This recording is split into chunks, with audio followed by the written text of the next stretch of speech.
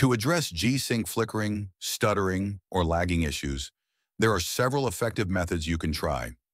These solutions focus on optimizing settings, addressing potential conflicts, and ensuring your system is configured correctly for smooth performance. Solution 1. Disable in-game overlays. One common cause of G-Sync issues is interference from in-game overlay software. Overlays from applications like GeForce Experience, Discord, or Steam can conflict with G-Sync, resulting in flickering or stuttering. Disabling these overlays in their respective application settings often resolves the problem. For example, in GeForce Experience, you can disable the overlay by accessing the settings and toggling it off. Solution 2. Adjust Monitor Technology Settings.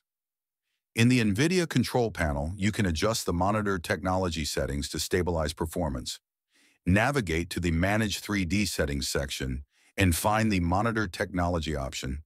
If your monitor supports G-Sync, changing the technology setting to Fixed Refresh may help eliminate flickering and ensure smoother gameplay. Solution 3.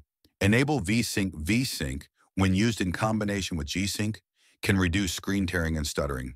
You can enable VSync in the NVIDIA control panel by accessing the vertical sync option under Manage 3D Settings and setting it to On. To maximize effectiveness, it is also recommended to enable VSync in the graphics settings of the game you are playing. Solution 4. Reinstall graphics drivers.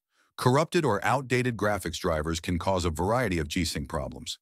Performing a clean reinstallation of NVIDIA drivers often resolves these issues. Use a tool like Display Driver Uninstaller DDU to completely remove the existing drivers before downloading and installing the latest version from NVIDIA's official website. These solutions address the most common causes of G-Sync performance problems and should help you achieve a smoother and more enjoyable gaming experience.